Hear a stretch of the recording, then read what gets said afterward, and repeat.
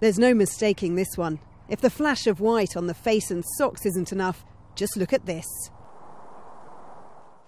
At barely three days old, a blistering turn of pace that tells you this foal belongs to one of the greatest champions the world's ever seen. All comers, all grounds, all beaten.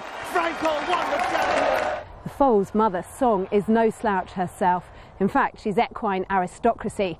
Her father, Sadler's Wells, was a very fine racehorse, but more than that, he was an exceptional stallion, siring a number of Derby winners.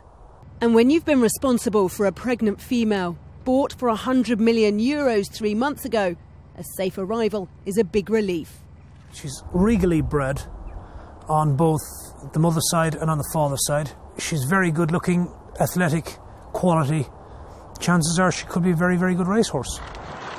For those who knew Frankel well, there's already a certain resemblance. You couldn't have found a better specimen. I mean, it brought back a lot of memories of seeing Frankel himself uh, uh, running around that, that field, and I mean, she's only two days old, so uh, it's onwards and upwards.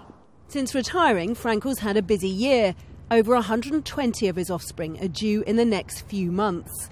But all this is far from an exact science.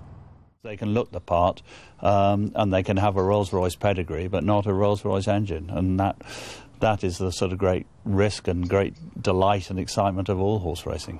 There won't be too long to wait. Frankel's foals could be racing by 2015. Rachel Younger, Sky News, Newmarket.